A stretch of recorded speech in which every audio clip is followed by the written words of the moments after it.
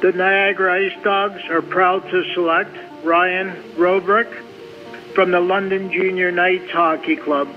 Well, I mean, for me personally, I, I when you speak about Ryan it, if you ask people in hockey what what the prototypical hockey player is, you know, big, can skate, um, can shoot, um, loves the game, works hard. You know, all the all the attributes that make a, a, very good hockey player. I think if you threw them all in a factory, it spits out Ryan Roobroeck. So, you know, it, it's just it's very fantastic just to be a part of his uh, hockey um, journey, and, and and Niagara is beyond thrilled just to have someone of his stature in our organization.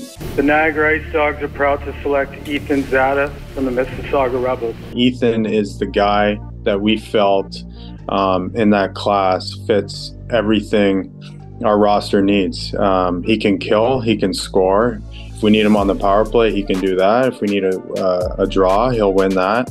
Um, he back checks. He's a two way player. Um, everyone in the league has an Ethan Czata, and we finally have ours. And um, he, you can just see the way he skates. His his posture is is professional already, and um, he, he's just a, an all around very good hockey player. The Niagara Ice Dogs are proud to select Artem Frolov from the Vaughan King GTHL. Yeah, I mean, for us, it, it was a no brainer when he was there to take him. So, um, again, a high skilled player. Um, the skating is is paramount in this league, and he has that. Um, his reads again, he plays properly uh, in the D zone. Um, you know, he can chip in offensively. Um, he, his his, read, his overall reads playing defense are, are um, you know beyond his his age. We feel, and a guy who will step in and, and contribute uh, right away. And we, we think he's a very high ceiling, um, but the skating uh, part for us was, um, you know, the number one factor.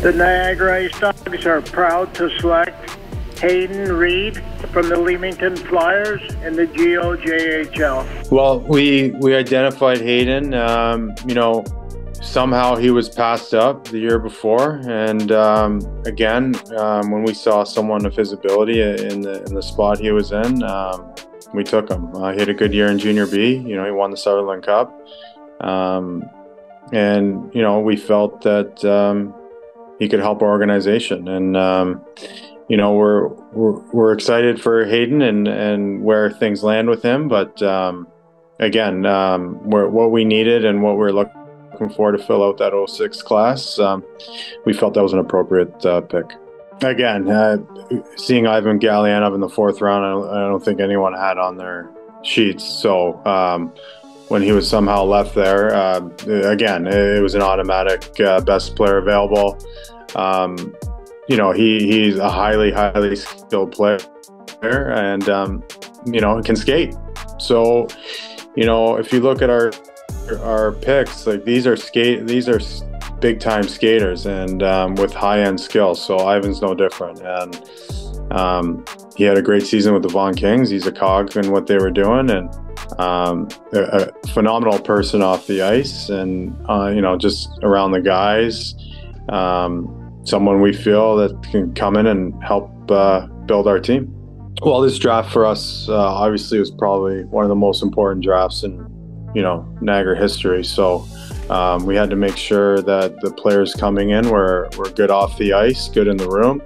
Um, you know, and then you know, obviously, be able to to build around on the ice. So um, overall, we're, we're, ecstatic with what we have right now, um, and we're these are building blocks for the future. These these are, are big time players, and um, we're, we're just very thrilled that uh, we're a part of uh, you know their journey in the OHL and and beyond. So um, it, it's just it's a it's a good time to be an ice dog for sure right now.